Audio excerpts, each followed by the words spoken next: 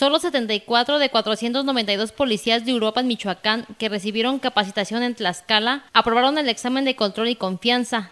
El resto tendría que ser despedido a pesar de las necesidades del municipio, señaló el alcalde Aldo Macías Alejandre. De los 492, únicamente fueron 364, se vinieron 24, fueron 340, de los 340 solamente aprobaron 76. Todos estaban acreditados, todos estaban de alguna manera acreditados. Ahorita regresaron, les hicieron otro examen de acreditación, solamente 76 se van a quedar y tenemos que ver porque Europa no requiere 76 policías, requiere 600 policías.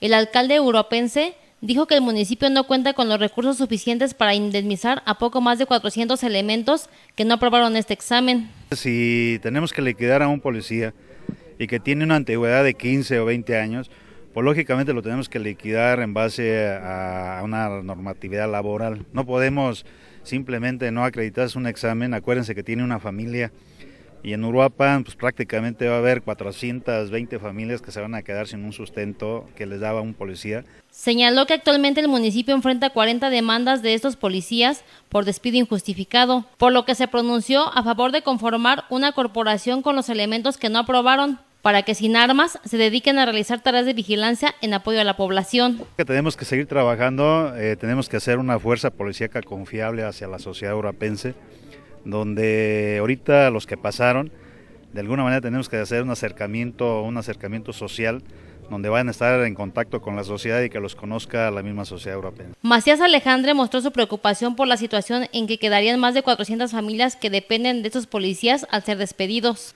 Para Cuasar TV, Sandra Sáenz.